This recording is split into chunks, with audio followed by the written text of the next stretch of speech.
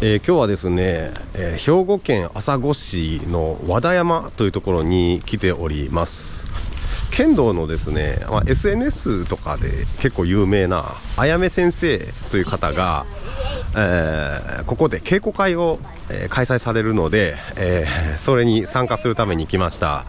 あの今ですねえーと、午前中のプログラムが、まあ、ほぼほぼ終わってちょっと今、私、えー、途中で、えー、昼休憩のためにちょっと抜けてきてるんですけども、えー、結構面白いですね。あの梶谷選手が、えー、一緒に、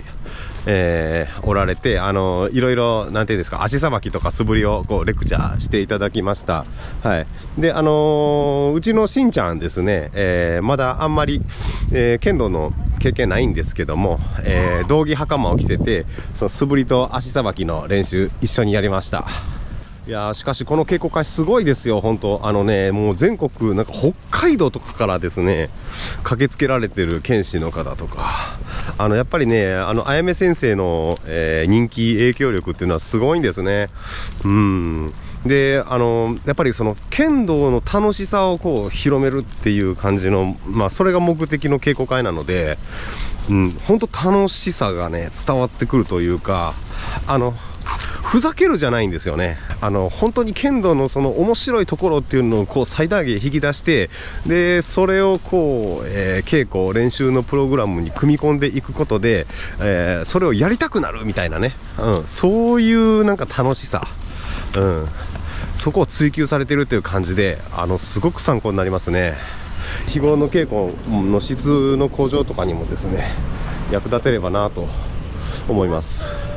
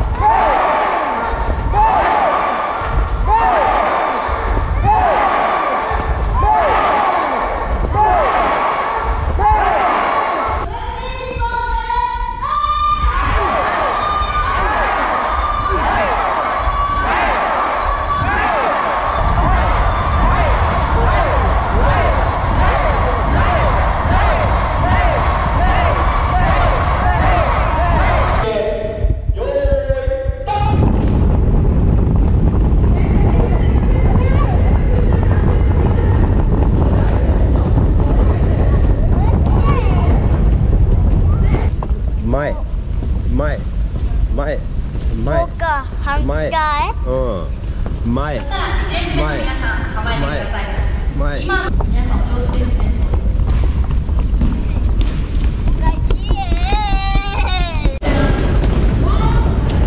はいてどうぞ。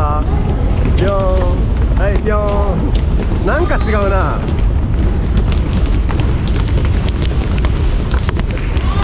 そうそうそう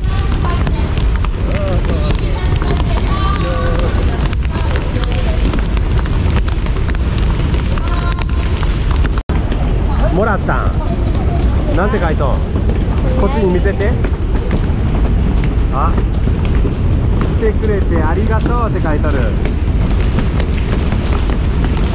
って一体感を持って会場のみんなで楽しめるんだよってそういうイベントもやっていきたいなと思っています。ただ私の力がまだまだ及んでいないのでもっともっと